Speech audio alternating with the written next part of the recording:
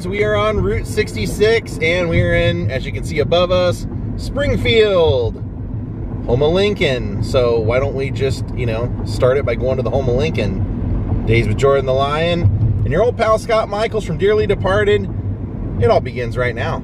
Just for proof, there's Scott. People have said that I lie and that Scott isn't actually sitting beside me when I show him. It just gets very quiet in the morning. They think you're a ghost. You've done it to yourself.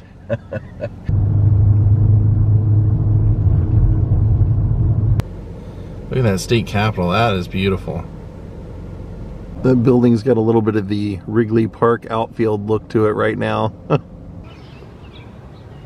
oh my gosh, he's here! Nobody told me you'd be here today. Nobody told you to be here either.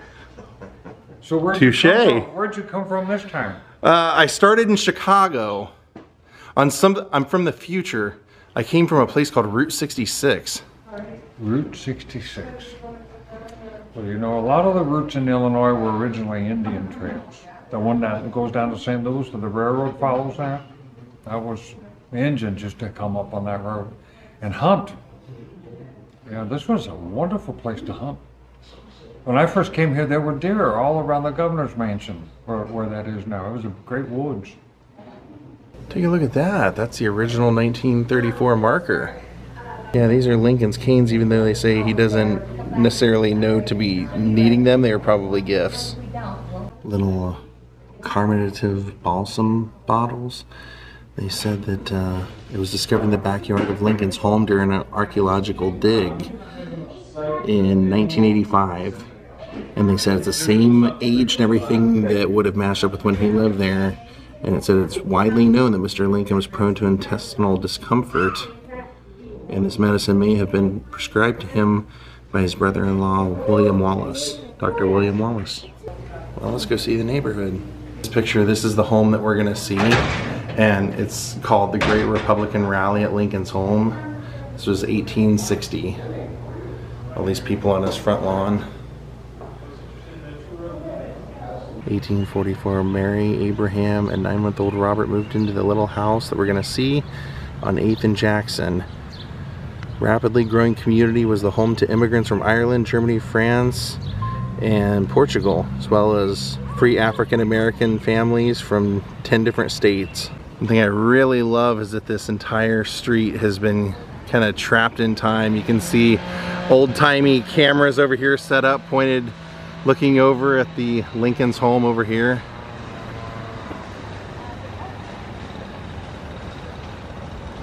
The young Abe and Mary Todd. Take a look at this picture. This is Abraham and Willie standing on the corner. Not in Winslow, Arizona. We'll get to that, but they're actually standing on the corner. Would have been right over here. Let's match that up. That really gives you some perspective, doesn't it? That long ago. God, and it's still here. So the great thing is that they actually offer free tours of this house. You just have to go sign up for it. So we were able to get a tour. The Lincolns lived here from 1844 to 1861 and seven years after he rode into Springfield on a borrowed horse with all his belongings and two saddlebags, Lincoln bought this small cottage that would grow right along with him and his family until it became a full two-story house. This would be the first and only home he ever owned. Lincoln's lived here for 17 years. Sons Eddie, Willie, and Tad were born in this house. Abraham and Mary Lincoln's friends and neighbors gathered for Eddie's funeral in 1850 here. From this home, Lincoln's firstborn son, Robert, left for college in 1859 as well. Wow, talk about a true family home. Says in 1861, Lincoln closed the front door one last time as he left his home in Springfield, Illinois for Washington, D.C. as President-elect the United States. Ahead was the task to govern a nation divided by slavery and to preserve a government, he later said, whose leading object was to elevate the condition of men, to lift artificial weights from all shoulders, to clear the paths of laudable pursuits for all, to afford all an unfettered start and a fair chance in the race of life. So before you take the tour, you get to see here that house was a one and a half story cottage that started in 1839. Then the family moved into the home Then the house was raised to two full stories. And they lived there for that whole time. Oh, you're a genius, Scott. You just noticed that as we were looking at the photo of them, and we already pointed out that camera setup. He's like, that's probably what that's for, is to recreate where those people are over there. There's that camera, and that they were recreating that photo if they wanted to. So here's the camera setup we were talking about. I just think that's very cool. Let's kind of put our camera through there and see what it looks like. If you read this, it says, this view of Lincoln's home has been most frequently photographed through the years. We invite you to step into history and take a photo from this location.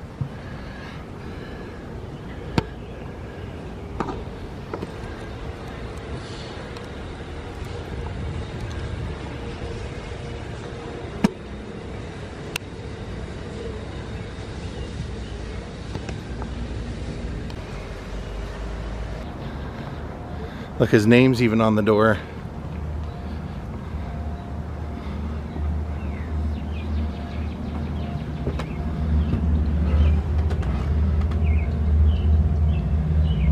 All right, we're going in. But don't go on into the dining room. I think you'll see what I'm talking about. Go right up to that railing and you can lean or touch on that railing. Can you clarify? Yes, That is the original house-ish. No. I mean, not the original original, but. this is the original house. But that was a renovation of that one. No, What just stood this, then? that was just another cottage, but that's what theirs looked like also. Okay. That's the original home also. Thank you. You're welcome. This is exactly what it was.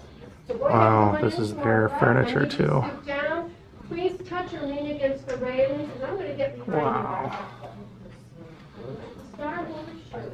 Very good. Love big Yoda. Well, my daughter said, Mom, college graduated. And I got that. They go, Or you can pick up.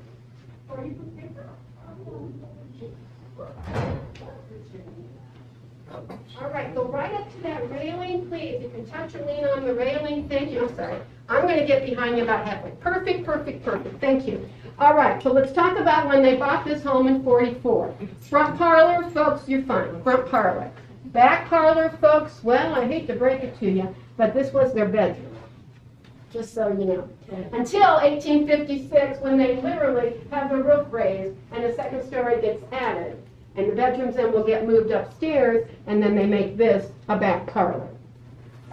So if you look at the drawings on the floor, you're going to see the room in front of you. These were campaign drawings for 1860 for the presidential election. So I mentioned in the BC that he was a Whig and he served four terms in the Illinois House of Representatives. He also will serve one term in the U.S. House of Representatives. He's still a Whig. But by the 1850s, the Whig Party will be gone. So to replace that boy, they will have a new party called the Republican Party come along. So in 1850, he tries two different times to become a U.S. Senator in Illinois as a Republican. The second time was 58, the famous Lincoln-Douglas race. He loses both of those times. But please keep in mind, that was your time period when the U.S. Senators were chosen by our state legislators and not by the voters. That won't change until the 17th Amendment. All right, so now it's 1860. Many, many men, for whatever reason, wanted to be president back then. So many of your former Whigs will become Republicans. Uh, the Chicago will be the home for the next Republican convention in May of 1860. On the third ballot, Abraham Lincoln will get the nomination. The party is very well aware they've got a big PR job ahead of them. Of course, he was well known in Illinois, national not so much. That takes us to these drawings then. This gentleman worked for Frank Leslie's newspaper. It was a paper out of New York. The artist will come to Springfield, he will draw what he sees in these rooms, he takes them back to New York where they are finished, and then published, and then people can see something about the Lincoln family, and the still any rumor that they were still living in a log cabin in the middle of nowhere. So now we have November of 1860, it's a four-way race even now. As you know, of course, Abraham Lincoln will win with about 40% of the popular vote. He and Mary will seriously consider selling the house. But they'll change their minds, so instead of selling, they won't have tenants. They'll rent the house out while Mary is asleep. Then they have to deal with their stuff, so they will have a tag sale, a estate sale. The standing, we're not exactly sure where he was standing, but we know that he. It was in this part of the parlor that he was told that he won the nomination. You're Welcome to lean or touch on the radios. But we're That not is sure. so Now, cool. when they offered him the nomination, his reaction was not yippee-yi-yay, his reaction was, let me think about it. And he waits about four days to write a letter. That's the railing. Now we're in the dining room.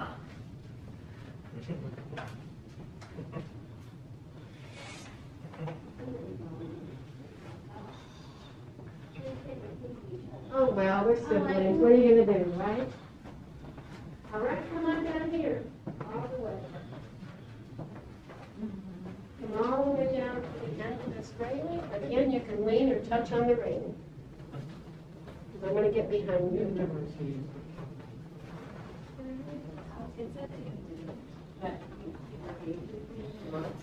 The carpet. Come on in. Come on in, again, go right up to the Well, I railing. saw the, the deal if you walk out before we came. I think I- Come on in. We'll call this their sitting room. Probably for us today, it would be more like a family room. So in the evening, this is where the family would gather. If the boys were not in their bedrooms playing or were not outside, this was the room downstairs they were supposed to be in, but we know that always didn't work out. So let's pretend it's evening. We'll pretend Mr. Lincoln is home. Can somebody tell me how tall he was? Do you remember? Six four. Very good, six four. So if I gave you a quiz today, like which was his favorite chair, you'd have to have an E, none of the above, right? Uh, we do think there may have been a sofa on this wall, but over here, we also know he would just spread out on the floor and get comfortable. So he'll be reading maybe to the family, the playing floor. with the children. Mary might be sitting to your right. Um, that mirror and sewing table belong to Mary. And for many years in this household, she will make their clothing. She made Mr. Lincoln shirts for a long time. And the boys either or maybe are playing with dad or maybe begging mom for a snack, or they could be to your left at the round table.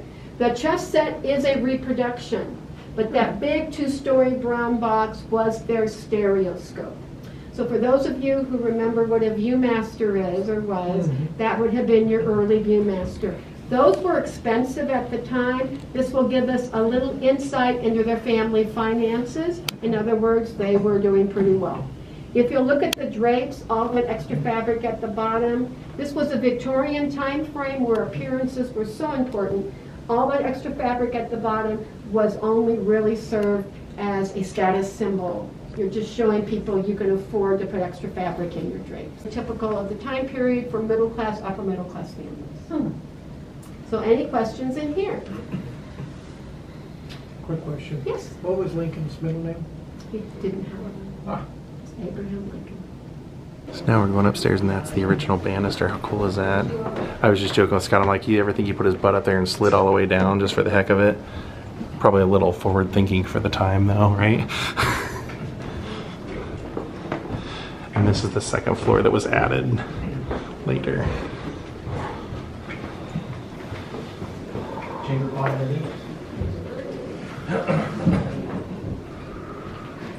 I know, but we're gonna have a tour while we're here.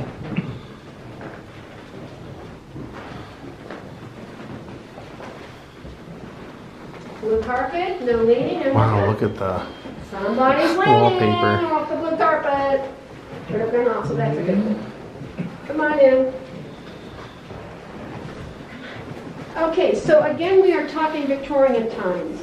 So it was common if people had the means, you would have what was called a bedroom suite arrangement. So it would be his side and her side. So currently you're in his side. If you look up, it's not because he was tall that these ceilings are so high. It's just when they added the second story, the angle that the builder built them. Because you'll notice next door the ceiling's already quite a bit lower.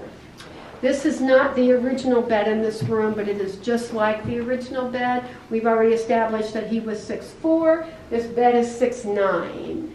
Because I have people who walk in and think it's too short and his feet hung over the edge. That is not the case. He had several extra inches in this bed. He did not sleep with his hat on. He did not sleep with his hat on. His original wardrobe. And then in the other corner, of the desk also was Mr. Lincoln's. He, that desk saw lots of use, especially in the evenings when he couldn't sleep. Now, the desk leaves the house at some point, when we finally get it back several decades later. They do think maybe it's a little shorter than when it left.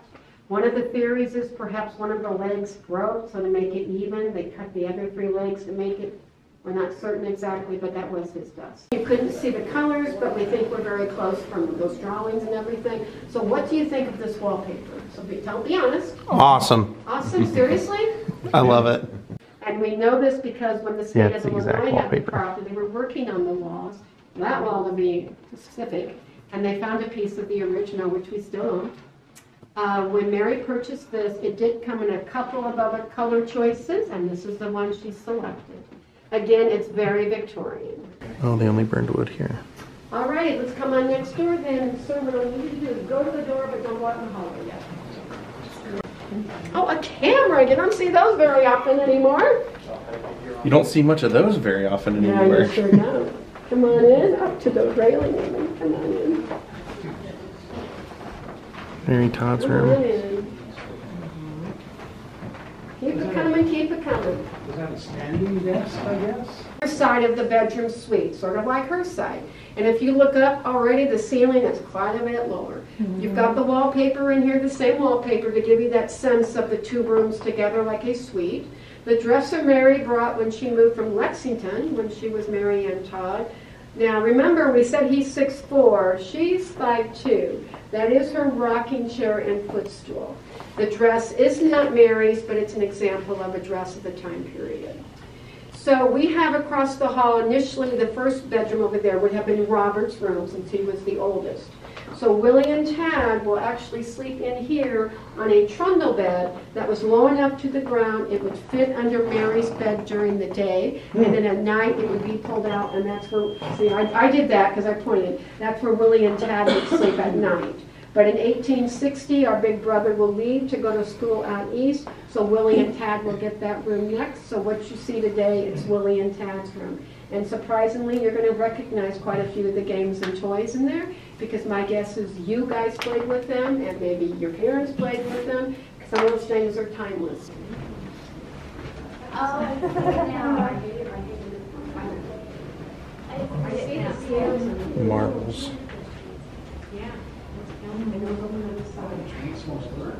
So this would have been Robert's room first. Okay, so boys' bedroom, did we recognize some of the games and toys in there? What did we see? What do you guys Marbles. see? Marbles, yes. Checkers, Yeah. Yep, toy soldiers. yep, toy soldiers. And down the stairs we go. A different set of stairs, not original stairs, they said. It brings us down into the kitchen.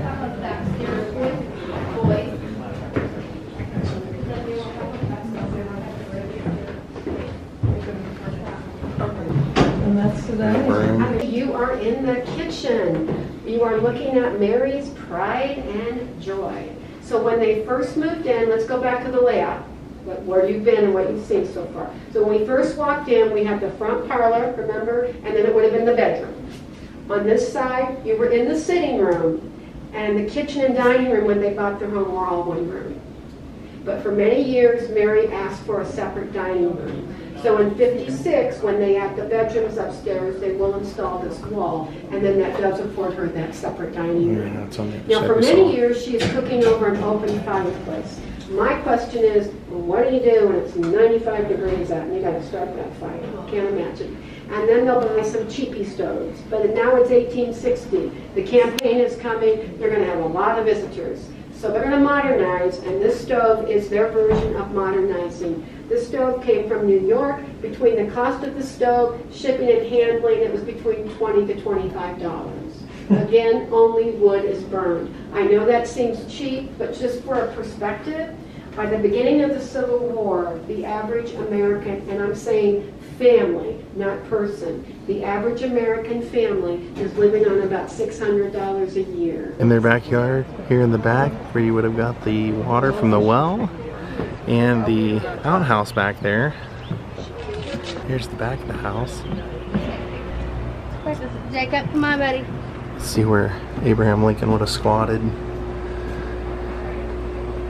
So a couple of interesting things when we were back there in the back parlor when we kind of first started taking the tour she mentioned that that was originally where the Lincoln bedroom was and that's also the room that we also mentioned that's where he was told that he got the nomination and everything and where he found out he was president this is also that also was the room that unfortunately his son Eddie uh, battled tuberculosis for 53 days and then died in that room now they also said the reason that this whole experience was free, which is kind of a rarity for the uh, presidential homes, Robert, Robert Todd Lincoln, when he approached the, the state, he said he would sell it to them for a dollar, but he wanted them to maintain the home and never charge anyone to come here. So come visit the Lincoln home for free.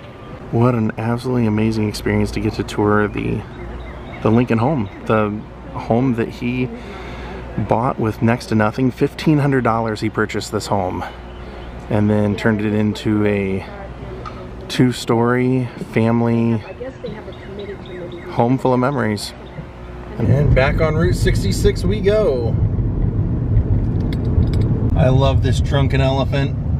I was amazed to find this guy last time I was here and I'm not gonna come here and not visit him again. Look at him sitting here drinking his own martini right here on the side of Route 66. Red glowing eyes also. I got places to go and people to see, my friend. So do you. You don't see that every day. Somebody just built a big peace swing out front. Shrine to the lady, Our Lady of the Highway.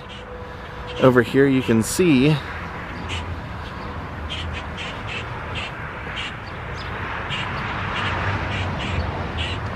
Mary loving mother of Jesus protect us on the highway.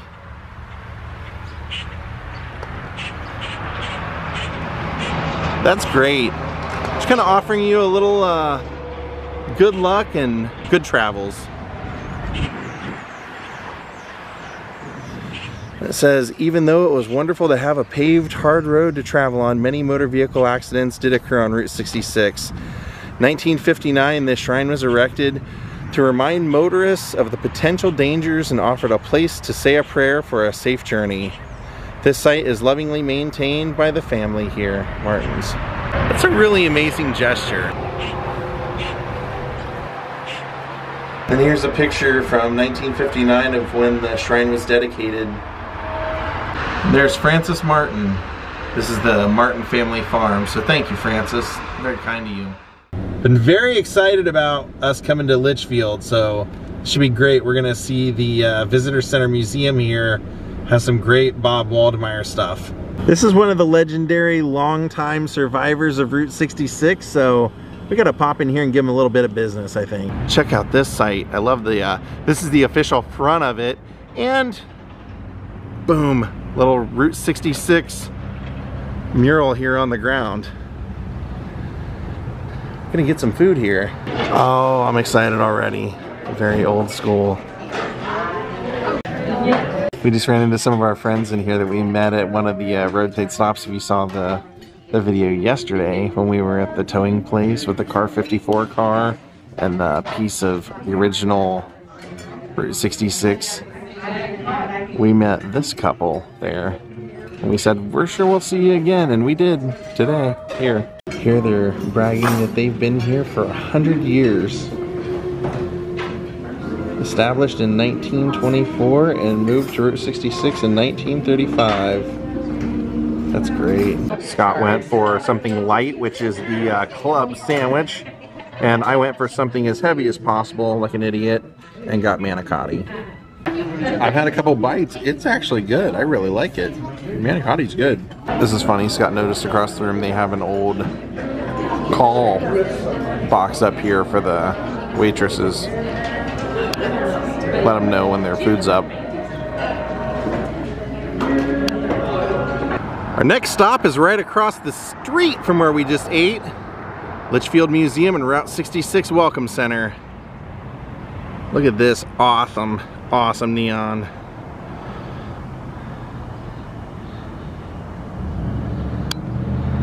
Look at this. This is one of the staples of coming to Litchfield is checking out the places we've been and places we're going. Like Henry's Rabbit Ranch, we're going there. Our Lady, we've been there. Chicago, yep, been there, seen that. Getting our kicks, that's happening right now. Look at these, I love these old signs.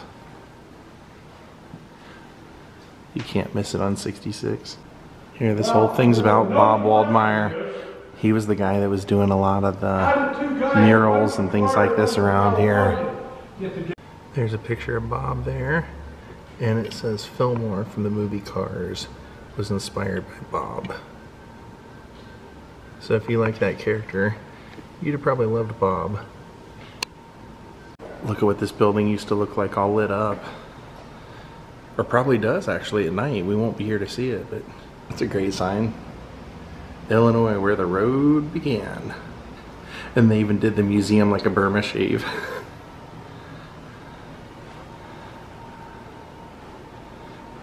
and in this room, more love for Bob as well.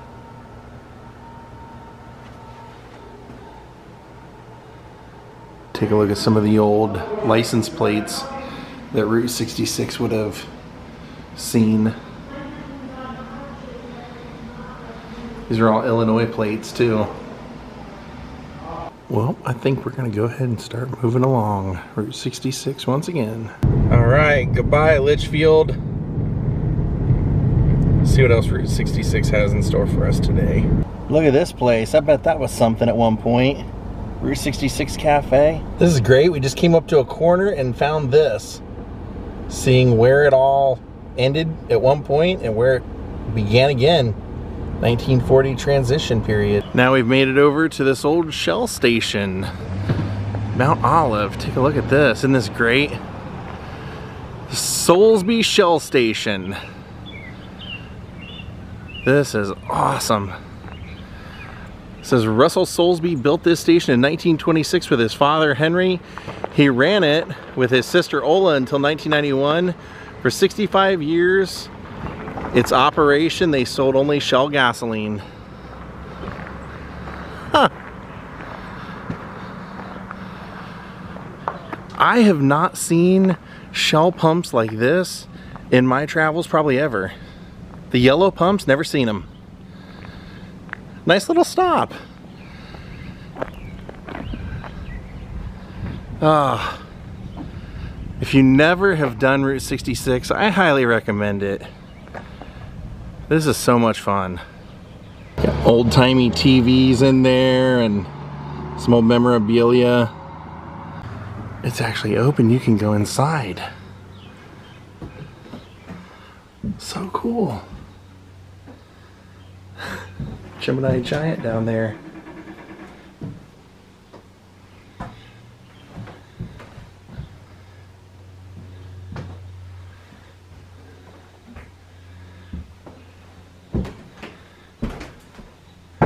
Oh, cool.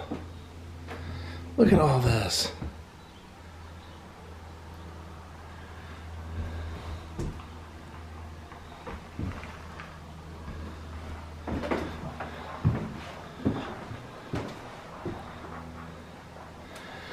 Display cases of Shell merchandise. That's amazing.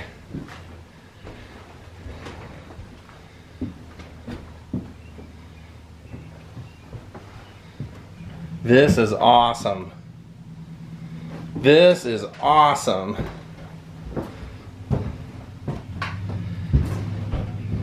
And here's the TV we were seeing.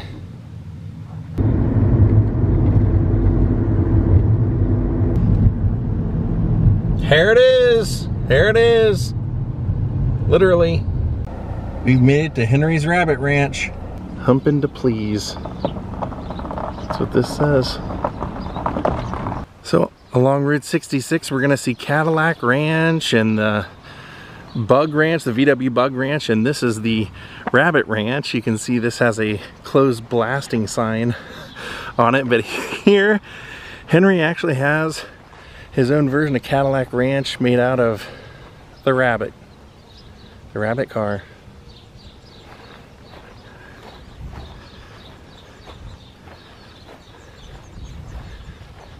Here's his giant rabbit. Looks like it's broken, so he doesn't want anybody on it right now. So we will abide, but it's kind of a famous thing people are always sitting on top of and taking their picture. Now I believe inside the building he actually has rabbits that he grows and this is his rabbit graveyard because he has his rainbow bridge right here and then headstones for all of them.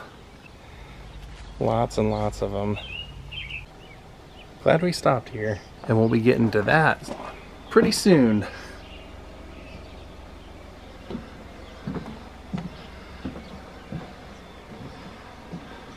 So long, Henry's. So here's our next location. It is a flea market with a, well, you can see it for yourself. All right, we have come to our last stop of the day. I've actually been by here several times in my travels and I've never vlogged it because I always ended up finishing my film for the day.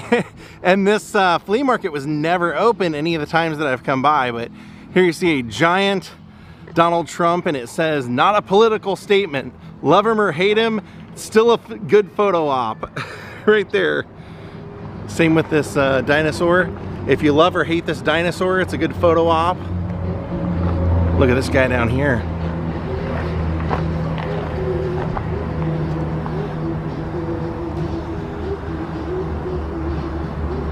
We make our way around. They have a Marilyn over here, and this is the town of Livingston, Illinois.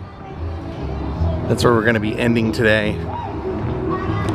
This place is really something. This is a, uh, like I said, it's a flea market, but they also have a really cool ice cream diner. And that's what is over here.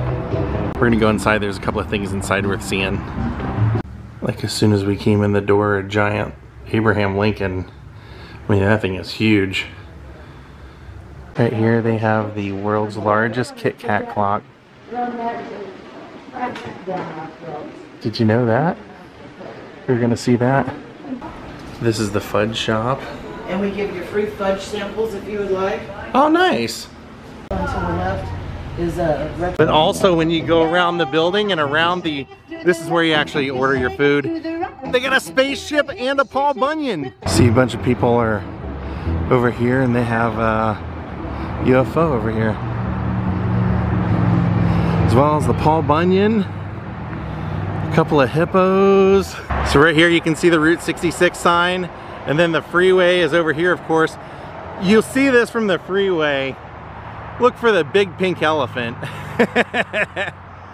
and then like I said, you got the giraffe over here, the UFO. It's a real eye catcher. No question about it. It's an eye-catching place. A giant tricycle. And last but not least, it's the Harley Davidson Muffler Man. Or Paul Bunyan, or whatever you like to call him. Standing proudly out here. Gotta love it. Well, my friends, we're gonna call it a day from Route 66. Scott Michaels and I hope you've had a great time. He's out exploring, looking at all these things while I'm wrapping it up. But we will see you all tomorrow in Route 66, on Route 66, exploring the rest of the Mother Road. Have a great night and goodbye.